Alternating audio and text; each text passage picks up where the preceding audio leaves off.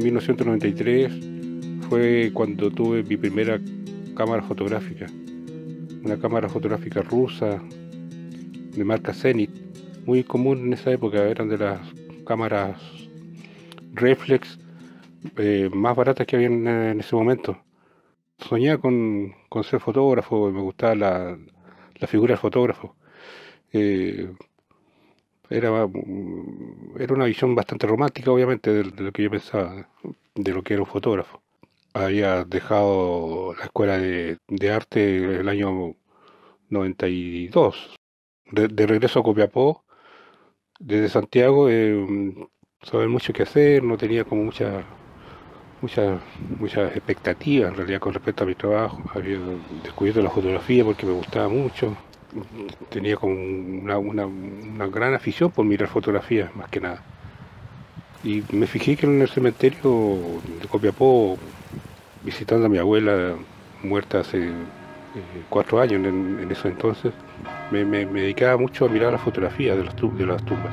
Y eso me, me interesó muchísimo. Me interesó imaginar qué serían esas personas, de, lo que significaba tener esas fotos ahí, de los ritos mortuorios también que podían conllevar ese gesto, ese gesto de colocar fotografía o de adornar el lugar, crear como crear santuarios, digamos.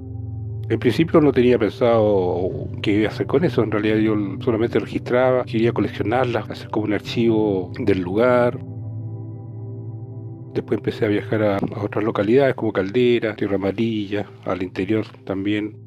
Y pude mm, darme cuenta de, de, alguna manera de lo que significaba eh, ese grupo de imágenes en su conjunto. Quizás como una especie de, una sociedad desaparecida.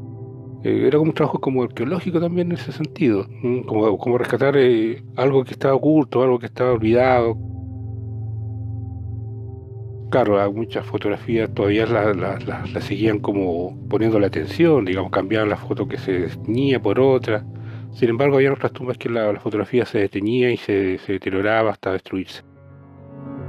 Y eso, en ese proceso de, registro que yo, yo realizaba, empecé a darme cuenta de ese proceso, ¿no es cierto?, de las fotografías que empiezan como a extinguirse y a desaparecer. Ahora, pensándolo bien, ese proceso de destrucción de la imagen tenía que ver también con, la, con el olvido y la destrucción como del mismo deudo, ¿no? Entonces esa metáfora eh, me producía mucha, mucha curiosidad.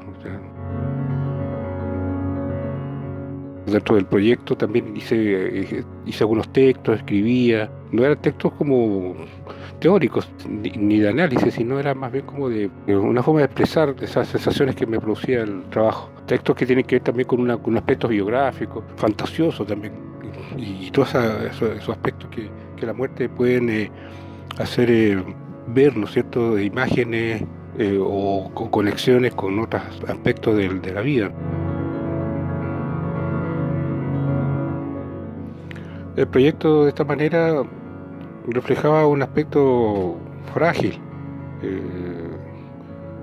precario en realidad, con respecto a lo que significaba la, la fotografía como objeto que estaba destinada a la, destrucción, cierto? A pesar de todos los cuidados que podían haber, digamos, en cada lugar, en cada tumba, la fotografía terminaba destruyéndose totalmente igual. Como una especie de como actitud, ¿no es cierto?, como responsable de, esas fotos, como tratar de cuidarlas y de, de, mantenerlas todavía en el tiempo, que se pudieran conservar.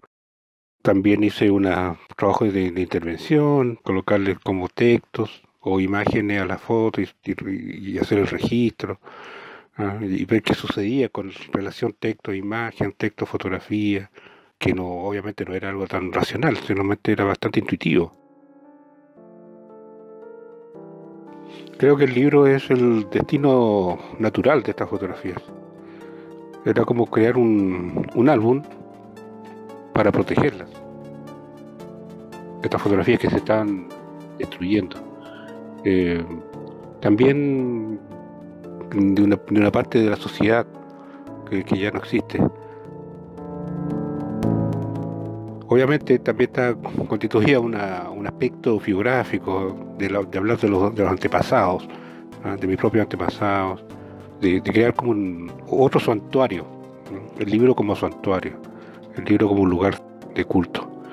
Eh,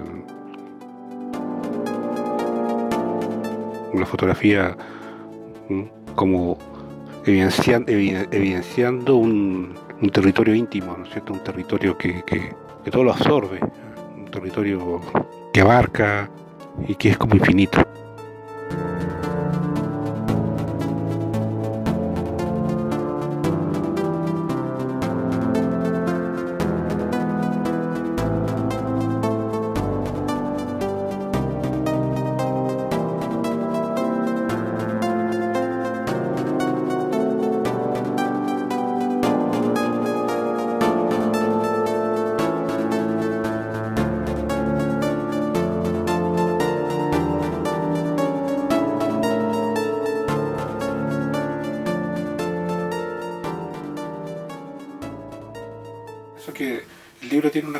De, ser transparente. Su, su, su contenido, eh, que es una, una, recopilación de fotografías que está circunscrita a un lugar específico, ya cementerio, cementerio de Copiapó en este caso. Entonces hay, hay varias capas que, podríamos eh, eh, extraer de, esa experiencia.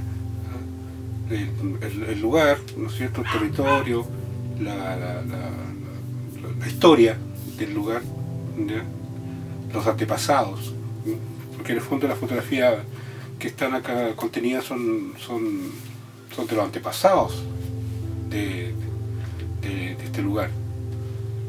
Eh, obviamente la fotografía en ese sentido es, un documento muy importante para la, para la, para la cultura popular. Es, su, manera de, conocer a, a, sus, a, sus, a sus familiares, o por lo menos era así antes, tenía ese sentido, de poder tener una, una, una imagen del de los antepasados, de, los seres queridos. Ahora mm, quizás ha cambiado esa relación con la fotografía. Algunos hablan de que la fotografía ha muerto, ha muerto y de lo que, lo que, lo que ocurre ahora es otro fenómeno mm, que todavía está, está siendo analizado, no, es algo que, sea eh, algo, algo que sea muy claro de definir. ¿ya? Sin embargo, este, este, este, este trabajo, el, libro, eh, algo muy concreto, muy, muy definido. La fotografía, el objeto fotográfico ah, y, lo que constituye para, la, para las personas como, como un valor en, sí mismo, ¿ya?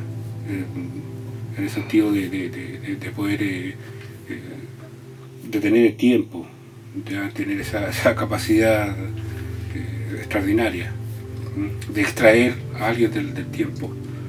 Ahora, claro, por ejemplo, con respecto a la, fotografía de mortoria, en este caso la fotografía de cementerio, yo la asocio más bien como una, una imaginería a lo mejor medieval, que tiene que con, la, con, con las vanitas, ¿no es cierto? Esta alegoría acerca de la, de, la, de la conciencia de, que, de que vamos a morir. Entonces, está la frase eh, recurrente, ¿no es cierto?, de la Dame que era eh, recuerda que vas a morir. Y para eso se creó toda una iconografía, eh, para de alguna manera enseñarle al, al público, a la gente, que, la vida, digamos, humana era un, era un, tránsito solamente y que la muerte era, lo, era, el final cierto y último, que no había nada que eh, de alguna manera esperar de, eso, que la vida era un tránsito y que nada, nada importaba de alguna manera en, esta existencia. Digamos, ese era como el, a mi parecer, el la forma de, comunicar esa, esa, alegoría, ¿no es cierto? Eh, alguna manera creo que este, este libro también tiene esa, esa, connotación, quizás, ahora lo he estado pensando últimamente, que, es que, también puede transformarse en una alegoría. Ahora, no sé, para, algunos la alegoría es un error estético o algo que está fuera, digamos, de de la, de la verdadera eh, comunicación del arte. Pero bueno, eh, si hablamos de, una poética, quizás la alegoría podría entrar en, en, esta, en, esta en las connotaciones de este libro.